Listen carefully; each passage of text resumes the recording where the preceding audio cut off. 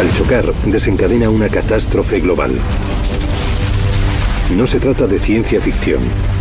Ocurrió hace 65 millones de años. Y desapareció mucha de la vida en la Tierra, entre ellos los dinosaurios. Actualmente muchos científicos piensan que no es un acontecimiento aislado, que lo que exterminó a los dinosaurios podría volver a repetirse. Y nosotros podríamos ser los siguientes. ¿Habrá algún otro impacto? Sin duda, volverá a ocurrir. La Tierra es como una diana. ¿Qué son estos invasores misteriosos? ¿De dónde vienen? ¿Y si alguno vuelve a amenazar a la Tierra, seremos capaces de pararle a tiempo?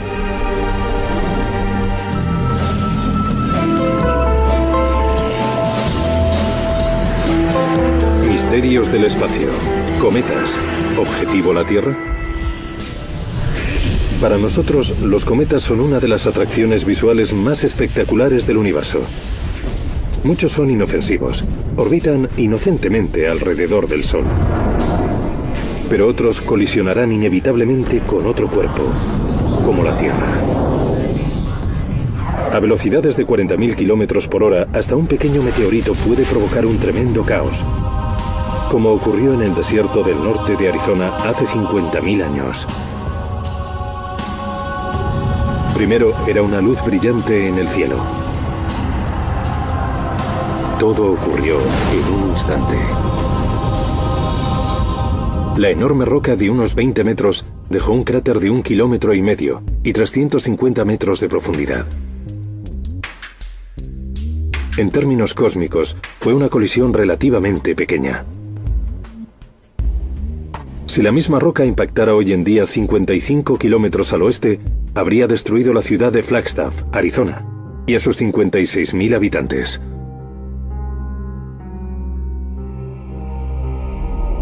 Una colisión mayor de un objeto de más de un kilómetro y medio de diámetro provocaría una devastación a escala global.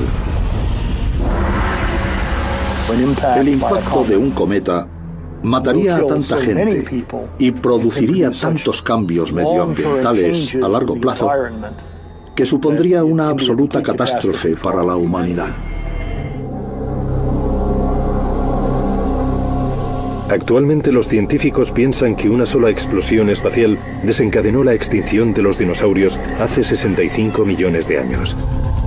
Un cometa o asteroide de unos 10 kilómetros chocó contra la península mexicana de Yucatán. Dejó un cráter de 200 kilómetros de ancho y 30 de profundidad y provocó una explosión más poderosa que todas las armas nucleares del mundo juntas.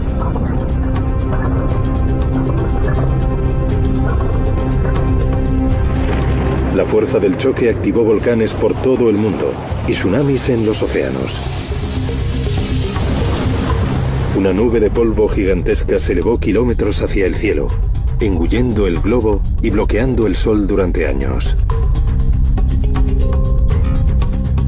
Los dinosaurios murieron poco a poco, y no solo ellos. Más de la mitad de las especies de la Tierra se extinguieron. En nuestro sistema solar hay dos clases de balas cósmicas capaces de devastar a escala planetaria. Los asteroides y los cometas. Los asteroides son básicamente planetas pequeños, densas rocas de piedra y metal, restos de la formación de nuestro sistema solar hace 4.600 millones de años. Muchos están agrupados entre Marte y Júpiter en una órbita llamada el cinturón de asteroides. Por otro lado, los cometas son más misteriosos. También aparecieron al nacer nuestro sistema solar y están compuestos de roca y hielo. Muchos de ellos, como el cometa Halley, realizan recorridos predecibles alrededor del Sol que se pueden pronosticar. Pero hay muchos otros de los que no sabemos nada. Salen despedidos del éter a velocidades inimaginables de más de 30.000 kilómetros por hora.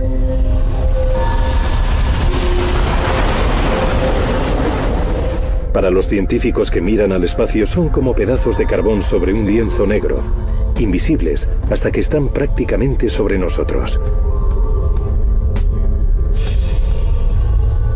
Solo al acercarse al Sol es más fácil detectarlos.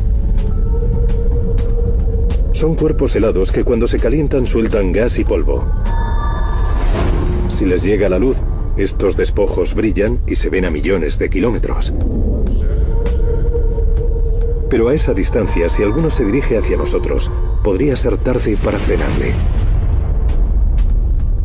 Hasta la fecha, se han identificado más de mil cometas. Cada año vemos 100 cometas que quizá no hemos visto antes, entrando en el sistema solar.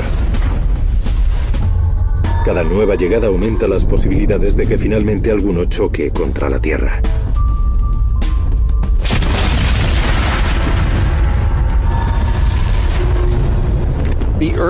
La Tierra es un campo de tiro cósmico.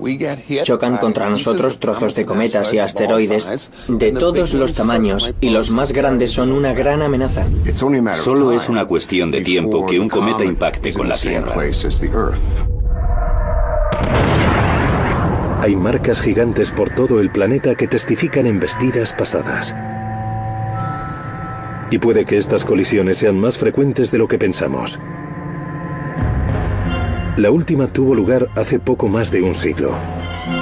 En 1908, una enorme explosión sacudió Tunguska, en la remota región rusa de Siberia. Los testigos vieron una estrella fugaz con la cola en llamas. El cielo se abrió y apareció un fuego más brillante que el sol. Fuese un asteroide o un cometa, al llegar a la Tierra chocó con la densa atmósfera a tal velocidad que la fricción provocó que explotara en el aire.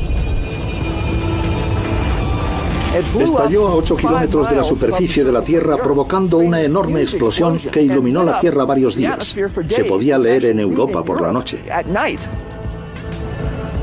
La explosión de Tunguska, como se le llama ahora, fue mayor y más potente que la erupción del monte St. Helens.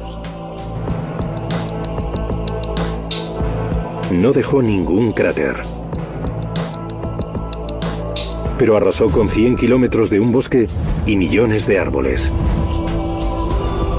Un área mayor que la de Washington Distrito Federal. Si eso hubiese ocurrido en un área metropolitana, hubiese aniquilado a la población de miles de kilómetros alrededor del lugar del impacto. Para los astrónomos, Tunguska fue un error, con un impacto relativamente pequeño. ¿Cómo hubiese sido una colisión realmente catastrófica? En 1994, los científicos consiguieron una demostración gráfica, ya que un cometa chocó contra Júpiter. La primera vez que los astrónomos avistaron el cometa Shoemaker-Levy 9 fue un año antes. El cometa que venía de fuera del sistema solar hacia el Sol pasaba muy cerca de Júpiter peligrosamente cerca. Júpiter es el planeta más grande del sistema solar. En él, la gravedad es muy intensa. Al sobrepasarlo, el planeta lo atrajo. Entonces, comenzó a desintegrarse. Estas piezas más pequeñas de unos 3 kilómetros de diámetro no tenían nada que hacer ante la atracción colosal de Júpiter. El 16 de julio de 1994 empezaron a chocar contra la superficie a una velocidad de más de 150.000 kilómetros por hora. Si había alguna duda de que los cometas pudiesen chocar con los planetas, este acontecimiento lo dejaba perfectamente claro. Era una ristra de cometas en el sistema solar que chocaban contra un planeta uno tras otro. Las explosiones fueron enormes. Cada impacto disparaba columnas de polvo y escombros a miles de kilómetros en la atmósfera de Júpiter.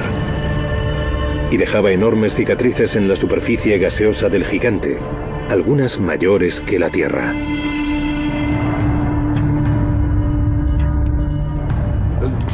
El llamado fragmento G chocó con una fuerza equivalente a 6 millones de megatones. Sería como si explotase una bomba como la de Hiroshima cada segundo durante 13 años.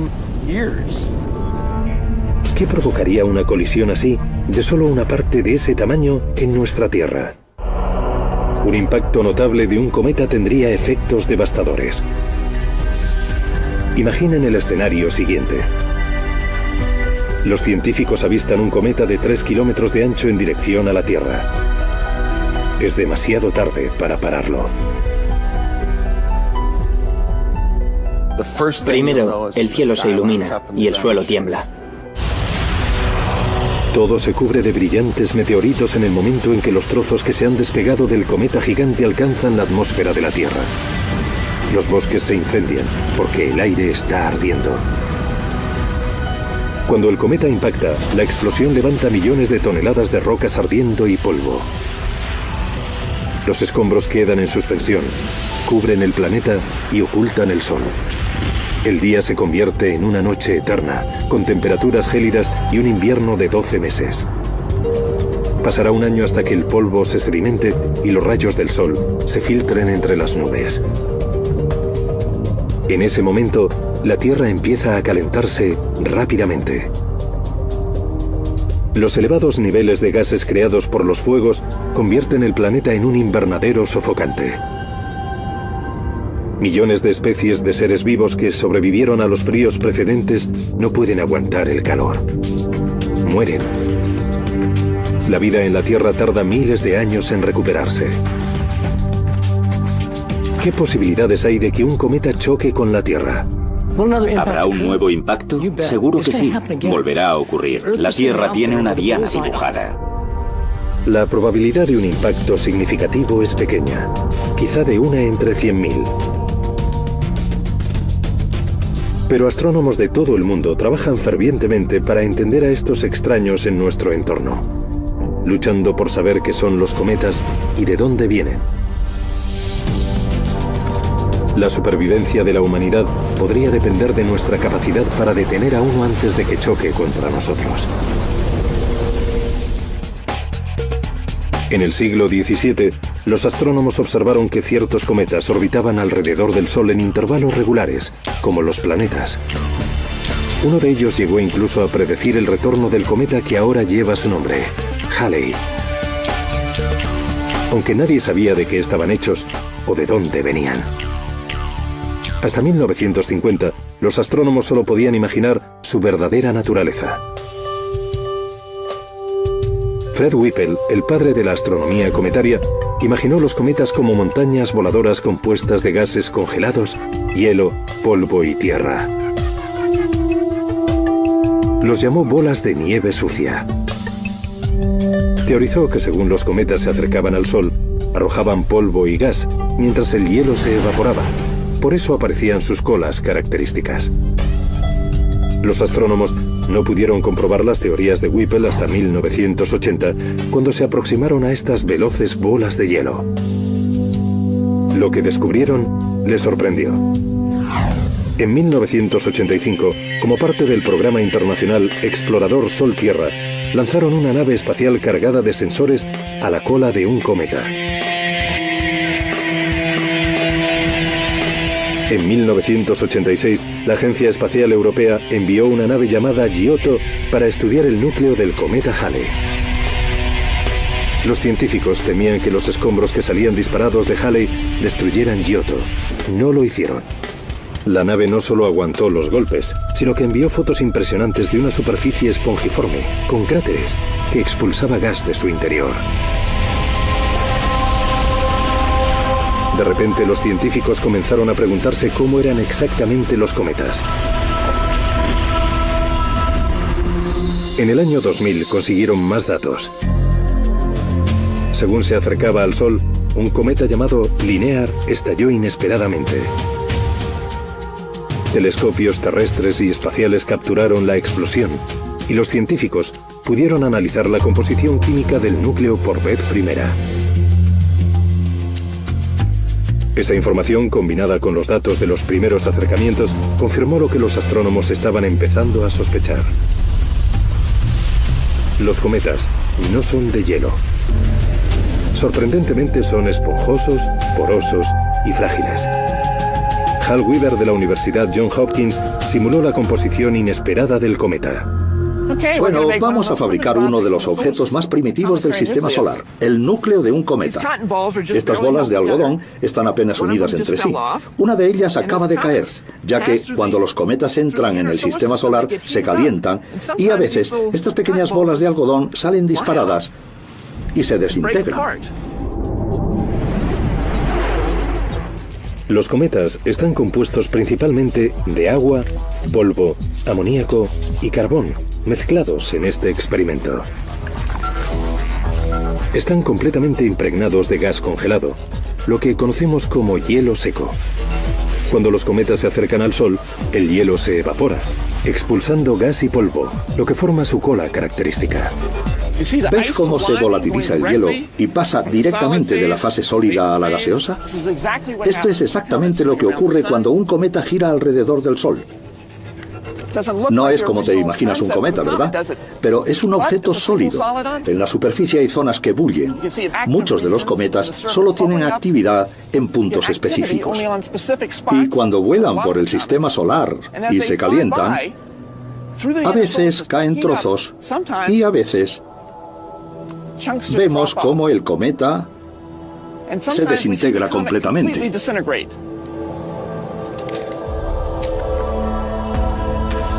Este nuevo descubrimiento acerca de la fragilidad de los cometas es tranquilizador. ¿Cómo es posible que causen tanto daño? Pero en su avance a través del espacio, a más de 11 kilómetros por segundo, hasta los cometas más pequeños pueden suponer un desastre. El doctor Donald Yeomans estudia los cometas en el laboratorio de propulsión a reacción de la NASA. Bueno, son frágiles y podemos hacerles pedazos con las manos, pero son enormes. Tienen 16 kilómetros de diámetro, así que no importa mucho que sean frágiles. Al ser tan grandes, tienen mucha masa y es la masa y la velocidad lo que cuenta en el impacto.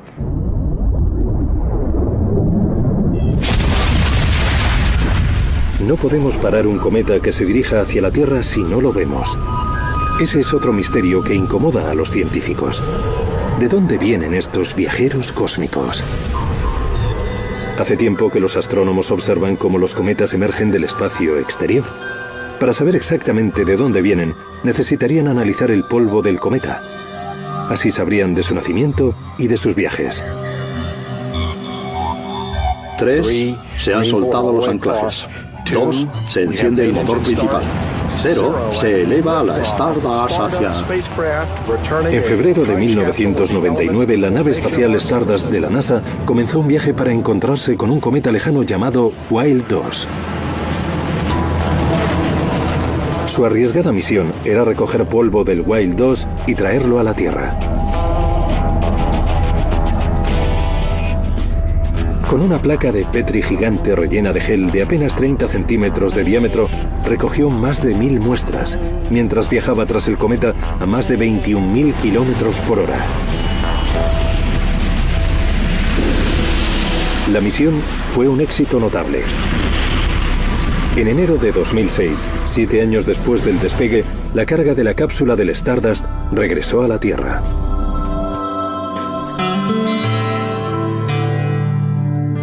El contenido era un tesoro para los científicos.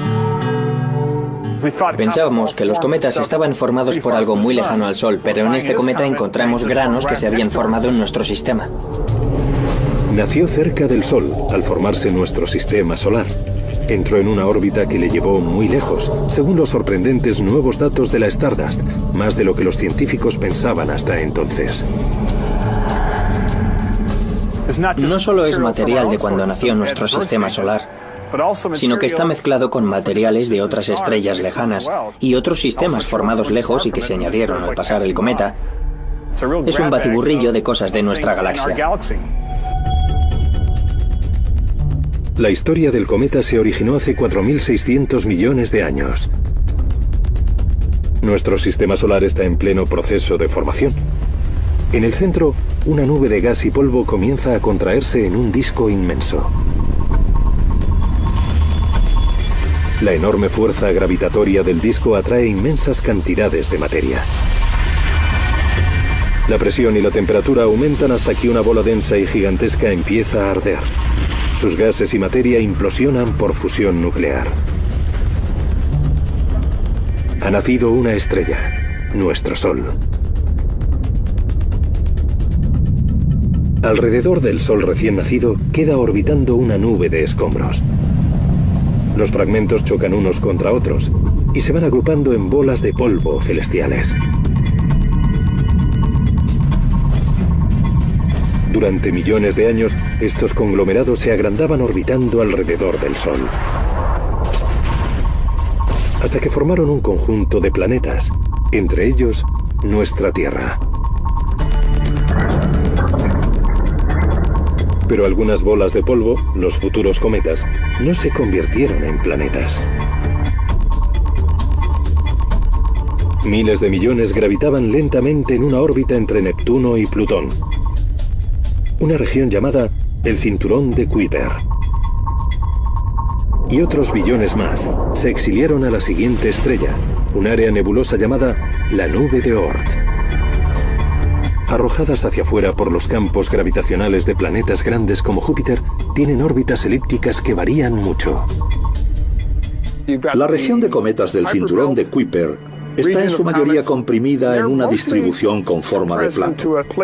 Pero la nube de Oort, que está mil veces más lejos, forma realmente una nube.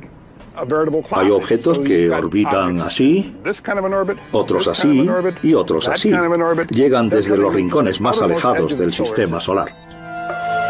Asombrosamente, los astrónomos no confirmaron la existencia del cinturón de Kuiper hasta 1992 de nuestro sistema solar.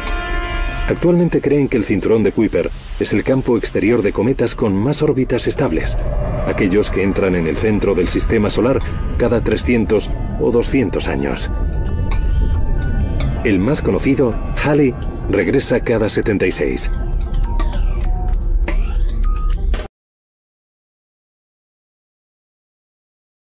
que más preocupa a los científicos.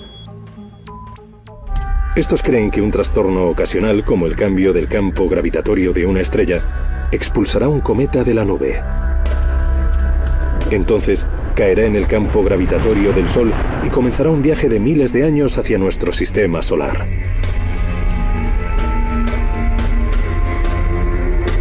Los científicos no tienen forma de predecir cuándo aparecerán estos cometas y pueden llegar desde cualquier dirección. A lo mejor, alguno ya está de camino para colisionar con la Tierra. Para estos exiliados frágiles y congelados, cada viaje al sistema solar está lleno de peligros.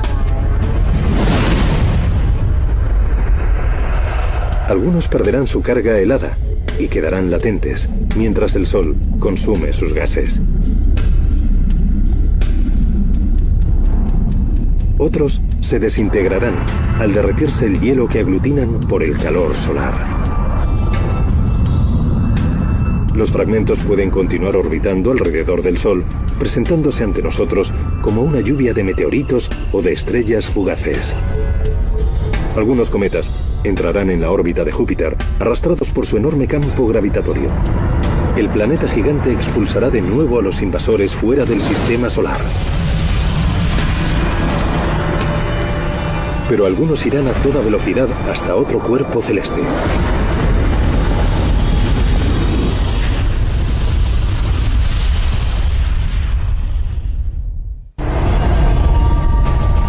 En 1997, el mundo descubre que un cometa ha entrado secretamente en nuestro sistema solar. Dos astrónomos aficionados vislumbran un intruso desconocido cerca de Júpiter, más brillante que cualquiera visto hasta entonces. Apodado Hale Bob por sus descubridores, era un visitante de la nube de Oort en su primer viaje alrededor del Sol en casi 5.000 años.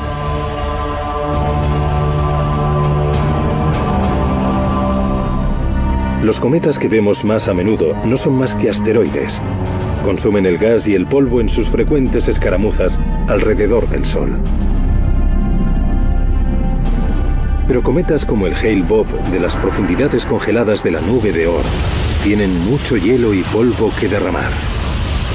Se componen de agua congelada, de hielo de dióxido de carbono congelado, hielo seco y de hielo de monóxido de carbono. Y todos estos hielos son más volátiles que el agua, así que cuando entran en el sistema solar se vuelven locos. Afortunadamente pudimos admirar sin miedo el glorioso momento de Hale Bopp en el Sol. Navegó sin obstáculos a 200 millones de kilómetros de la Tierra, un poco más lejos que el Sol. Pero, ¿y si hubiese ido directo a colisionar con la Tierra? En 1992 el gobierno de los Estados Unidos activó un agresivo programa para analizar la amenaza para la Tierra de los cometas y asteroides. Se llamaba Estudio de la Seguridad Espacial. Actualmente, científicos de todo el mundo están involucrados en ese proceso minucioso. Apuntan sus telescopios a regiones concretas del cielo y realizan fotografías periódicas.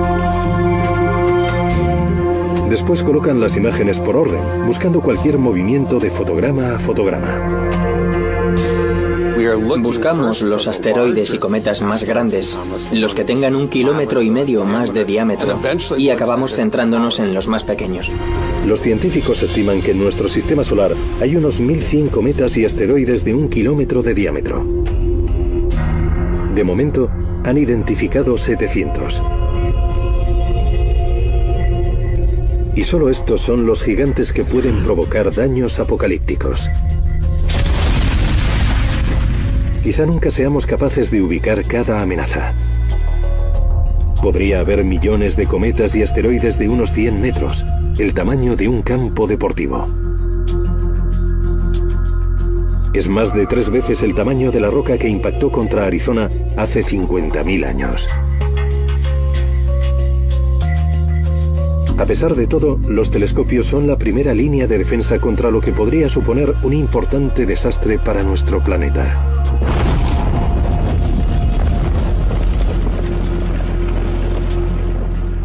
Si no se mira, no se sabrá si viene algo. Nos pillará por sorpresa, como le pasó a los dinosaurios. Si se lleva a cabo un estudio, esperamos estar sobre aviso. Pero es uno u otro.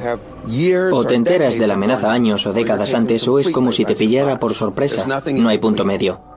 Hay tres puntos importantes. Hay que encontrarlos cuanto antes. Hay que encontrarlos cuanto antes y hay que encontrarlos cuanto antes.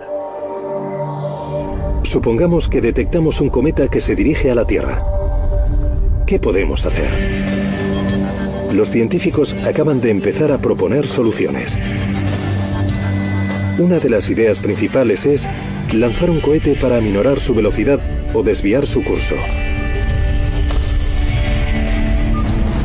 Es más difícil de lo que parece. Si los cometas fuesen bolas de hielo, podría pensarse que el fuerte golpe de un cohete serviría. Pero algunos cometas pueden ser porosos. Absorberían cualquier cosa que se les lanzara, como una esponja. En el año 2005 los científicos estaban listos para probar sus teorías de cómo reaccionaría un cometa al ser golpeado. Intentarían explotar un cohete en uno de ellos. Se llamaba impacto profundo iban a comprobar qué ocurriría cuando una nave impactara violentamente en un cometa a 37.000 kilómetros por hora. El primer objetivo de impacto profundo cometa.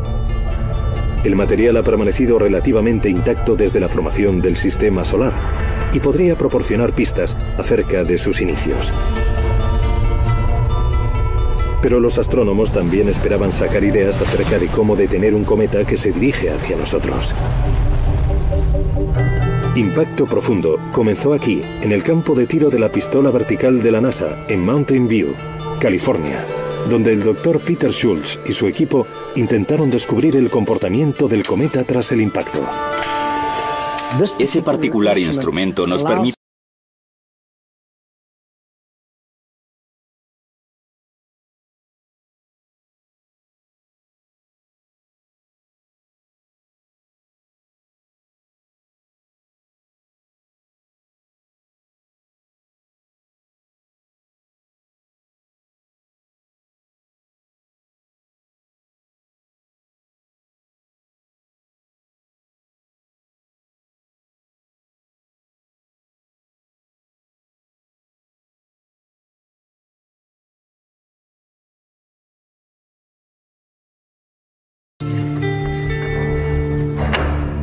El primer caso es lo que ocurriría si impactásemos en algo parecido a polvo lunar. El segundo, lo que ocurriría si impactásemos sobre blando. Y el tercero, lo que ocurriría si impactásemos sobre blando cubierto con alguna capa orgánica. Si seguimos la evolución en este caso, encontramos que al final, una vez finalizado, se sigue viendo el cráter. Pero en estos dos casos, en los que la muestra es blanda, no hay cráter, está completamente cubierto. La superficie blanda absorbe el proyectil, un resultado frustrante para los científicos que quieren observar el interior. Y existe otra posibilidad que Schultz no había considerado. ¿Y si el cometa entero es extremadamente frágil y poroso? Buscó una sustancia para hacer la simulación. El cometa podría ser como una bola blanda, con muy poca densidad. ¿Con qué podemos simularlo? Probablemente lo mejor sería algo orgánico. ¿Qué podría ser? Algodón de azúcar. Lo que vamos a intentar hacer es preparar un cometa, un cometa imaginario, comprobar si podemos dispararle y ver qué ocurre. En fin, lo que vamos a hacer es utilizar este material fibroso de baja densidad. Vale, así está bien. Bueno, ahora vamos a suspenderlo en la cámara de vacío y dispararle a gran velocidad para descubrir si explota o le atraviesa el proyectil. Ya está todo preparado. Tenemos el cometa de algodón de azúcar. Apaguemos las luces y salgamos de aquí.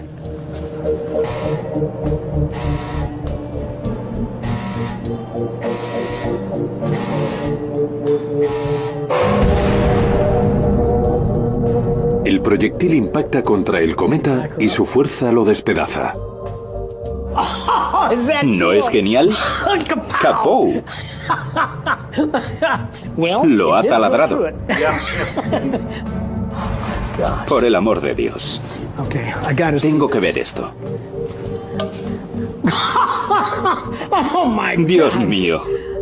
Ya no queda cometa, eso seguro. ¡Qué desastre!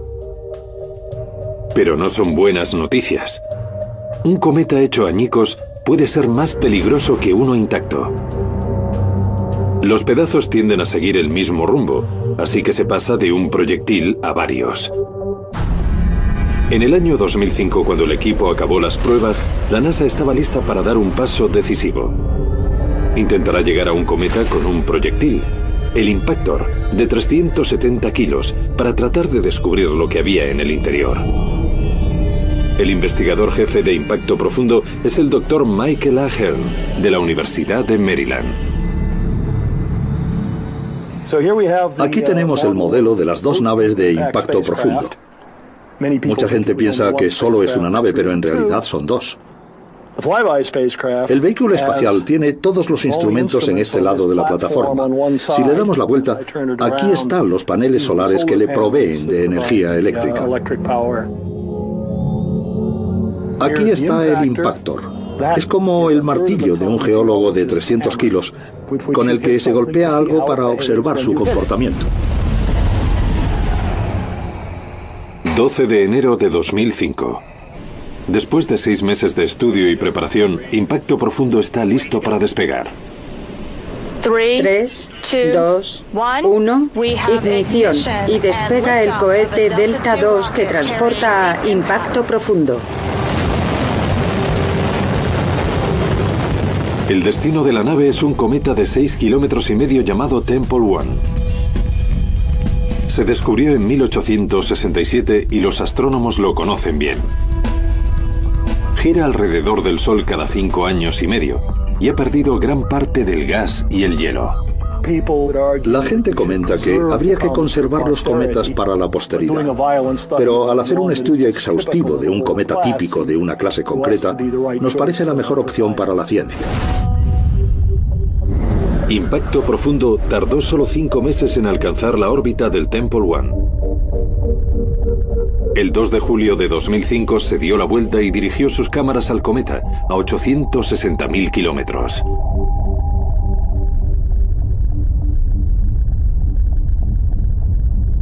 Entonces disparó el proyectil. Si todo va bien, la colisión provocará un agujero en el Temple One de unos 200 metros y 5 plantas de profundidad, el tamaño del Coliseo romano. Pero podría destruir el cometa, reduciéndolo a añicos. Me preocupaba más que nos faltase información del cometa y que el impactor llegara e hiciese solamente un agujero de un metro de diámetro y 30 de profundidad. Nos presionaría mucho sobre si en realidad habíamos acertado o fallado. En la Tierra cientos de científicos aguantaban la respiración. Perdimos la señal y estábamos esperando, así que intentábamos estar ocupados y no ponernos ansiosos. Y justo a tiempo se recuperó la señal.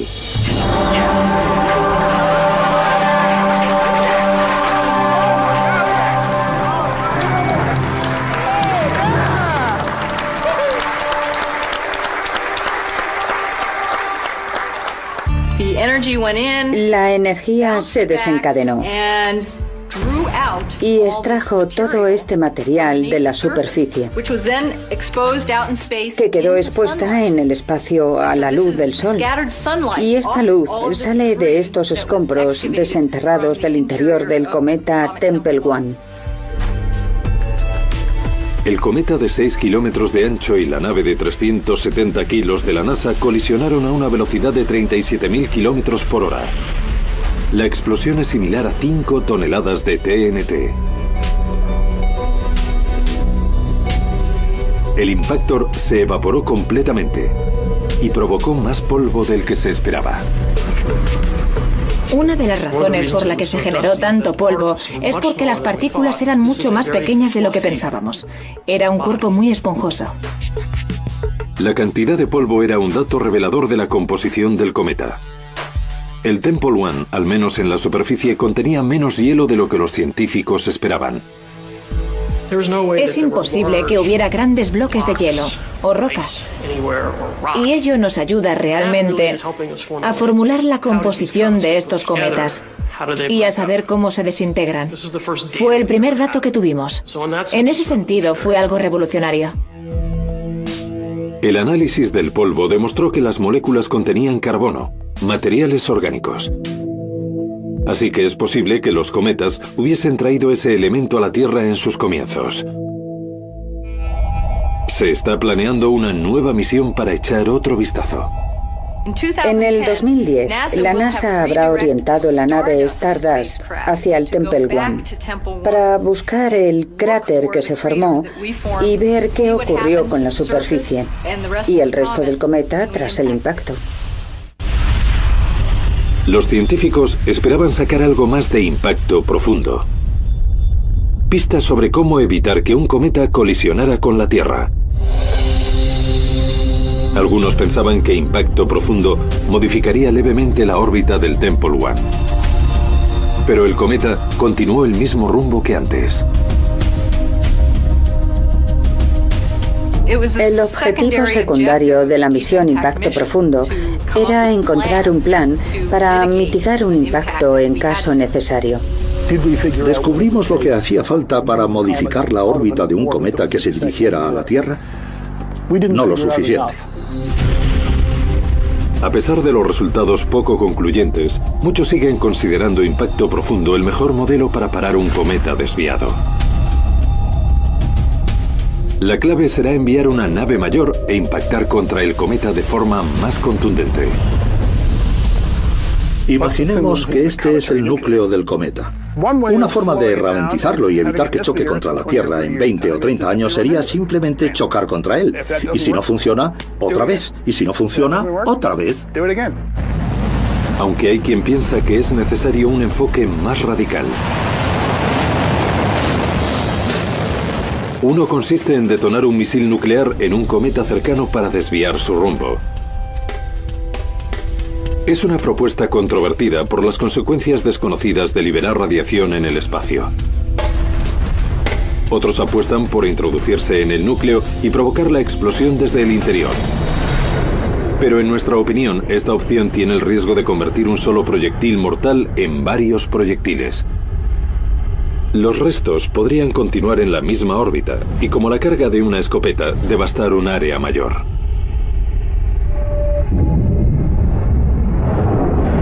Otros han propuesto soluciones menos violentas pero igualmente interesantes, como colocar láseres en la Luna, donde no se desviarían por la atmósfera terrestre.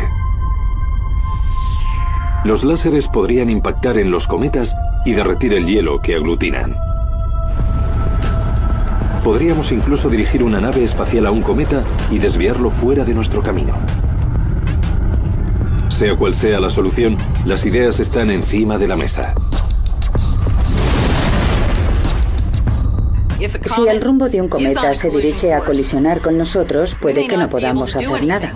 Incluso aunque mañana descubriésemos que algo viene hacia nosotros, puede que todavía no tengamos los medios adecuados para protegernos.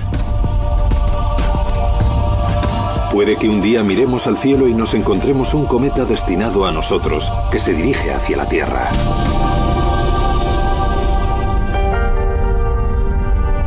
...23 de marzo de 1989... Un asteroide de 800 metros está a punto de cruzar la órbita de la Tierra. Llega justo seis horas después de que pasara el planeta azul. Es el equivalente a que dos aviones no se choquen por segundos. La humanidad debería tenerles miedo porque sí que impactan contra la Tierra. Pero igual que los cometas pueden ser emisarios de muerte, estamos aprendiendo que sorprendentemente también pueden producir vida. En la confusión de los primeros tiempos del sistema solar, millones si no billones de cometas y asteroides bombardearon la primitiva Tierra. Las colisiones masivas fundieron la materia, despegaron la corteza de la Tierra y desencadenaron tormentas de fuego que engulleron el globo. Actualmente, si no fuera por la continua erosión del viento, el agua y el calor, la superficie de la Tierra se parecería mucho a la de la Luna o Marte. Pero como los científicos están empezando a descubrir, ese bombardeo también produjo resultados inesperados. Los cometas de hielo trajeron el agua que ahora se agita en los océanos de la Tierra. Puede que también trajeran compuestos orgánicos. De esa combinación, agua y materiales orgánicos, se desarrolló lentamente la vida. Es posible que los cometas sigan contribuyendo a la vida en la Tierra.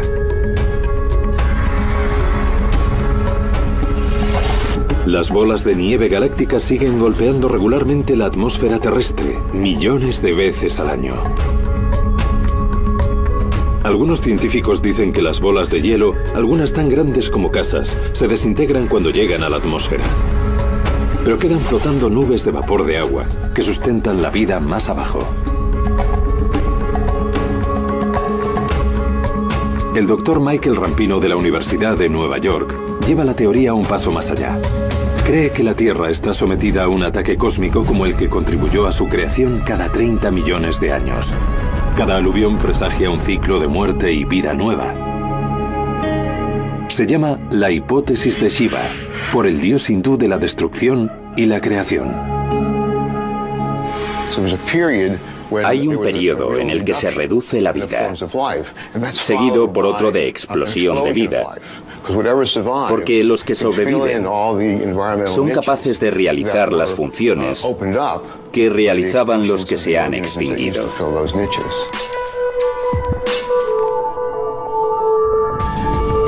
Según las hipótesis de Shiva, el ciclo comenzará de nuevo en 25 millones de años, cuando un nuevo bombardeo provoque una catástrofe global y extinciones masivas. Es una idea controvertida. La mayoría de los científicos no ve ninguna evidencia sólida en los bombardeos periódicos, y mucho menos en la posibilidad de predecirlos. Y nadie ha sido capaz de explicar la razón que los desencadenaría. Se ha sugerido que estos impactos son periódicos, cada 30 millones de años o así. Es una evidencia muy débil. Creo que aún estamos lejos de probar las llamadas hipótesis de Shiva. Una cosa está clara. Tenemos aún mucho que aprender sobre cometas. Todavía se encuentra en proceso un experimento con el que se espera recabar mucha información acerca de su capacidad para dar vida. Un proyecto original de la Agencia Espacial Europea, la misión Rosetta, enviará una nave para que aterrice en un cometa por primera vez. Queremos saber lo que hay exactamente en el núcleo y la única forma de estudiarlo es enviando un equipo. Rosetta salió de la Tierra en 2004. En 2014 se encontrará con el cometa Churyumov-Gerasimenko. Acompañará al cometa hacia el Sol y enviará un mini laboratorio a la superficie.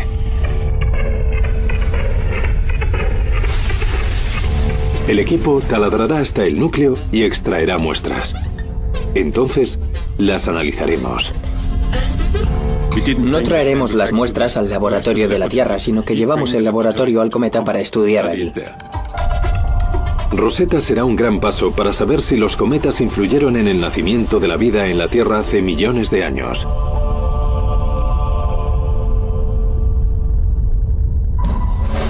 En misiones futuras, los científicos esperan indagar más en la superficie de los cometas. El objetivo sigue siendo aumentar nuestro conocimiento sobre su composición y sus orígenes, a la vez que descubrir cómo pararlos.